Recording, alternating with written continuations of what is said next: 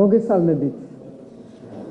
ბოლო დღეებში, კერძოდ 9, 10 და 11 ნოემბერს განხორციელდა ჩემშვილების თეიმურაზის და ქეთევანის და პირადად ჩემს მიმართ SMS და ხმოვანი შეტყობინებები, სადაც ნათლადაა გამოთქმული სიცოცხლის მოსპობის მუქარა.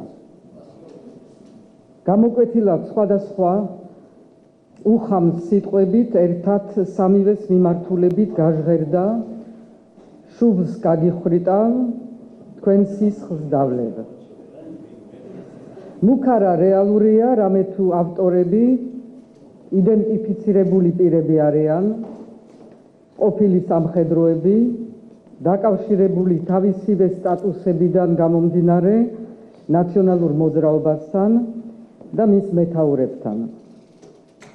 ძალიან შეურაცხყოფელია ქვეყნისთვის რომ ასეთი ადამიანები, ვინც ემუქრებიან ქალს და მის შვილებს, манипуლებენ სამხედრო ძალის სახელით, იმ ძალის, რომელიც ჩვენს ქვეყანაში და ჩემთვის პირადად ქართული ვაჟკაცობის ღირსების და თავდადების სიმბოლოა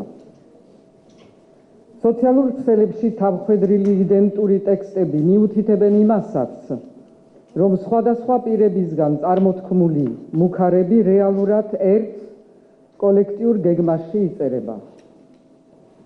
ამ ქმედებებით კიდევ ერთი საფეხური გადაიდგა ქვეყანაში დაძაბულობის, შუღლის, სიძულვილის გარემოს დაფუძნებისათვის.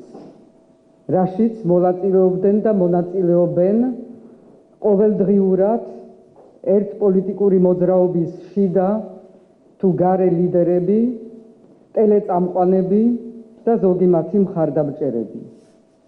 ამ წინა საარჩევნო პერიოდში ქვეყნის სტაბილურობა მეტად მნიშვნელოვანია და ერთ-ერთ საპრეზიდენტო კანდიდატზე და მის ოჯახზე ციცოცხლის მოსპობის მუქარის გავრცელება მეტად სერიოზულად უნდა იყოს მიღებული.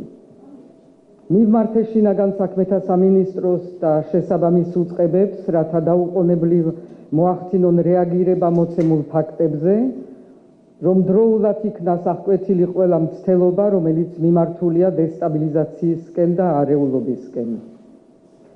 მივმართავ ასევე საზოგადოებას და კერძოდ არასამთავრობო ორგანიზაციებს, რომელთა ვალდებულება არის სახელმწიფო უწყებებთან ერთად დაიცვან წინასაარჩევნო სიმშვიდე და წონასწორობა.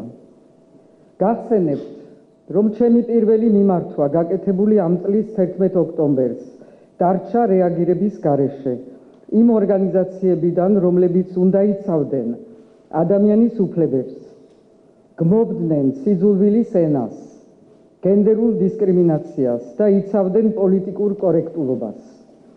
ამდენად შესაძლო მოვლენების განვითარებაზე ჩემს და ჩემს ოჯახის მიმართ თუ ქვეყანაში დესტაბილიზაციის კუთხით პასუხისგებლობას ამ საქციელის ავტორებთან გაინაწილებენ თუ სანათანადო და მყისიერი რეაგირება არ მოყვა.